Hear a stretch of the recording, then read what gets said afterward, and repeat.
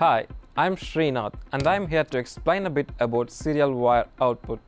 Serial wire output or SWO is a communication protocol used in certain ARM microcontrollers to output debug data in a serial format.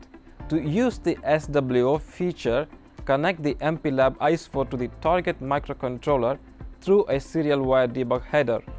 Please note that by default, SWO uses SWD peripherals, so please make sure you have selected the SWD option and not the JTAG.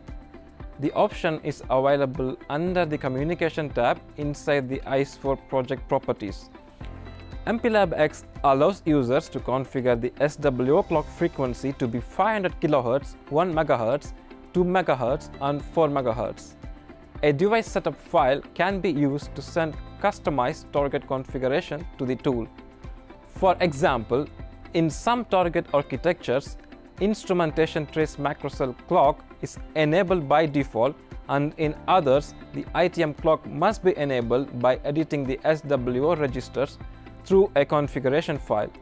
A sample configuration file looks as follows. Start the debug session by hitting the debug project icon and you should be able to see the SWO trace output in the ITM display port window. If you are using multiple ITM ports in your source code, you can view all by hitting the ITM display settings icon in the top left corner of the window and configure accordingly.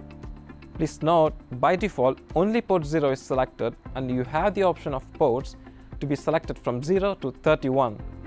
For more information about serial wire output, refer to the chapter 5.7 of the ICE4 manual. Thanks for watching and make sure to look out for other DevTool Bits videos.